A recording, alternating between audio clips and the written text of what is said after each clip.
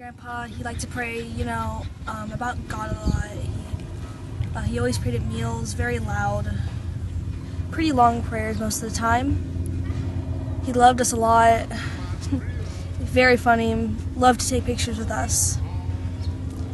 He always gave us presents at Christmas, very nice, very loving grandpa. He always had fun with us whenever we came over. He loved us, he hugged us, he kissed us. He just liked to spend time with us. And we left him back. Trinity and I. Uh, yeah, he actually had, he had a tabby. He, um, we found one outside that was more tame than all the others. So we kept him, or her, Pinky. So I could pick lemons and oranges with him. Play with his hyena, and we'd have a little tea party.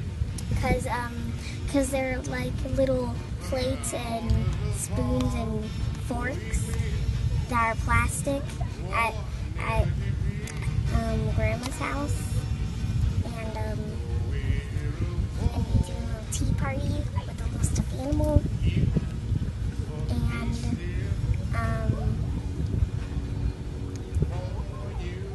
may the Lord Jesus Christ Himself, God our Father. Who loved us and by his grace gave us eternal encouragement and good hope. encourage your hearts and strengthen you. Second Thessalonians two sixteen.